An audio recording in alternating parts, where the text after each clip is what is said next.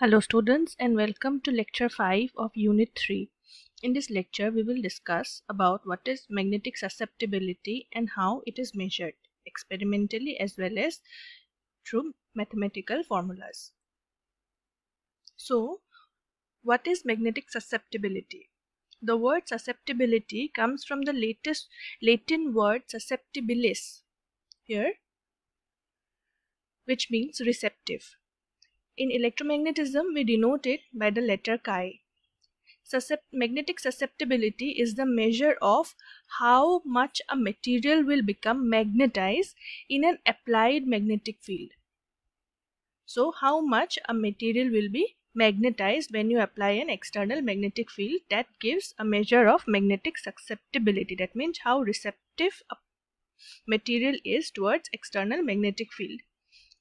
Mathematically, it is the ratio of magnetization which is defined as magnetic moment per unit volume. Okay, so the, it is the ratio of magnetization M to the applied magnetizing field, say H. Now, magnetic susceptibility is a quantitative measure. That means it can be calculated. To what extent? To which a material may be magnetized in relation to the given field. So, it is measured with respect to the applied magnetic field. Now this chi m is equal to m by h. This is volume susceptibility strictly speaking because the magnetization is what? It is magnetic moment per unit volume. It is measured uh, per unit volume. That's why chi m given here in this formula is strictly speaking a volume susceptibility. So this is uh, another way of defining magnetic susceptibility where chi is equal to m by h where chi is magnetic susceptibility, m is magnetization and h is the field intensity and that makes chi a dimensionless proportionality constant. Okay, so chi is actually a dimensionless, it has no dimension and it is a proportionality constant which indicates the degree of magnetization in response to an applied magnetic field. Let us see what causes magnetic susceptibility. Magnetic susceptibility is caused due to the interaction of electron and nuclei with the externally applied magnetic field. We all know the atoms are composed of electrons and the nucleus and the electrons present in those atoms they orient in a particular direction in presence of an applied magnetic field. So this actually causes the magnetic susceptibility. Why is susceptibility uh, needed or how is it helpful?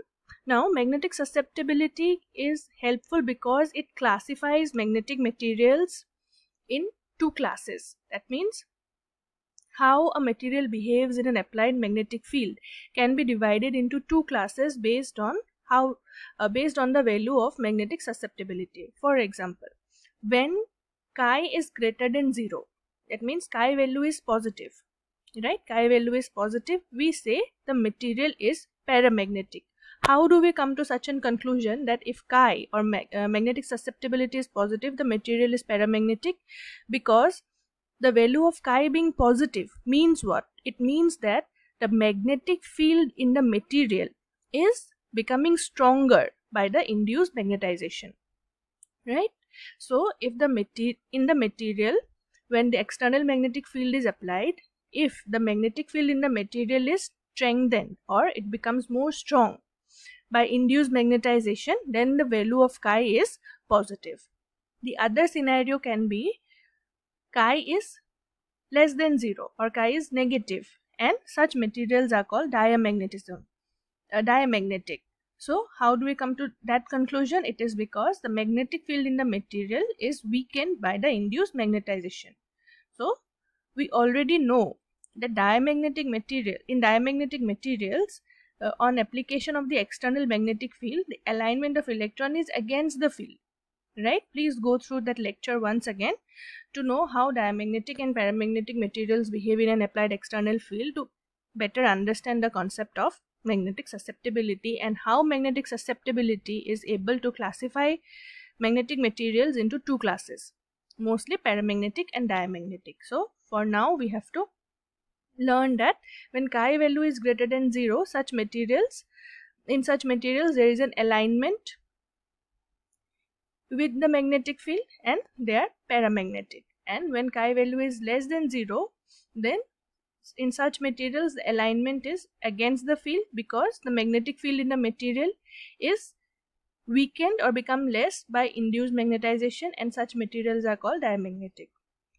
The other classes of magnetic materials like ferromagnetic, ferrimagnetic or antiferromagnetic materials have a permanent magnetization. Uh, we tried to see in our previous lecture that they do have a permanent magnetization even in absence of magnetic field and thus they do not have a well defined zero field susceptibility. That means even when the external field is zero there might be an induced uh, field in it and hence magnetic susceptibility is not well defined for such materials. Let us see how magnetic susceptibility is used in different fields.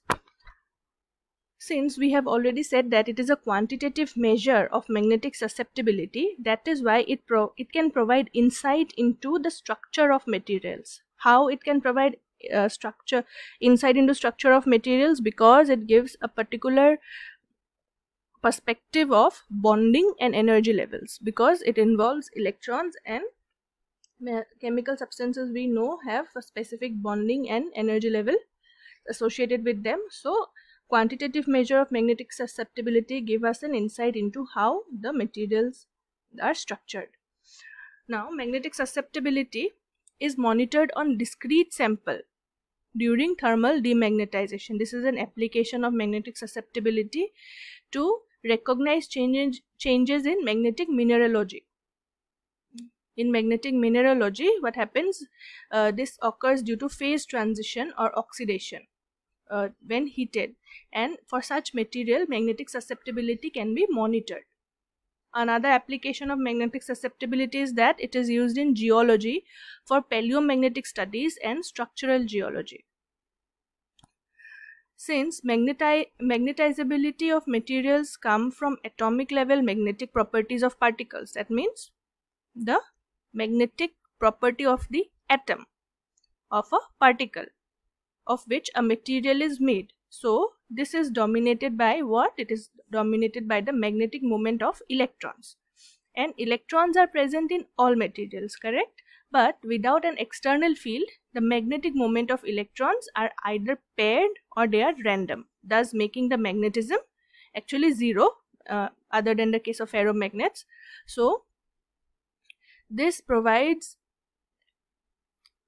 a, perspective or a new dimension to how the structure of materials or bonding or the application of magnetic susceptibility can be used in different fields. Now, experimentally, there have been a few techniques that have been in use to calculate volume magnetic susceptibility, which is measured by a force, by the force change felt upon a substance when a magnetic field gradient is applied. The two most common methods are Gouy balance and the Evans balance. The Gouy method we will discuss in details, uh, but the Evans ba balance is an alternative method. Let us see what Gouy balance is. In this Gouy balance, balance, a sample is hung between two poles of an electromagnet and the change in weight when the electromagnet is turned on is proportional to susceptibility. So the change in weight is measured when the electromagnet is turned on for a particular sample which is hung between the poles of electromagnet. This change in weight is said to be proportional to the magnetic susceptibility. Uh, for now, Nowadays, in today's research, several high-end measurements are used in which instead of an electromagnet, they use superconductive magnet. The other balance is Evans balance in which the force is measured on a strong compact magnet upon insertion of the sample. For liquid samples, the susceptibility is measured from the dependence of NMR frequency of the sample. So, what is the NMR frequency of the sample gives the susceptibility for liquid samples okay the other method is uh, using MR scanner which gives highly accurate uh, which gives highly accurate value for diamagnetic material with susceptibility is very similar to that of water. Uh, the Gouy method has been discussed a little bit here but in in the notes that I have given it is explained in more details. Now the Gouy method uses a simple formula which comes from the Lenz's law. The Lenz's law was around since given around since 1834 and it is written in this particular form. Okay, B by H is equal to 1 plus 4 pi L by 4 pi I by H. Okay, so this is how it is given. Here we have introduced the value of kappa. Kappa is magnetic susceptibility per unit volume or i by h. Okay? So experimentally we have already said it involves what? It involves um, the force on the sample by the magnetic field and it is dependent on tendency of the sample to concentrate a magnetic field within itself. And we are finally led to this particular formula um, where change of force is measured as df equal to mu naught where mu naught is permeability of vacuum. H is the magnitude of magnetic field at point say dx here. dv is the volume of the sample at point dx. H we already know. And kappa is the magnetic susceptibility per unit volume as we have defined here. So this particular formula is used to calculate the force experimentally okay. Uh, so i have given a question sample example with the notes. Please try to follow it. If you have any problem while solving it um, we shall discuss it in the live lecture. Okay. So if you have any doubts um, don't forget to ping me. I shall be available to answer your queries. Thank you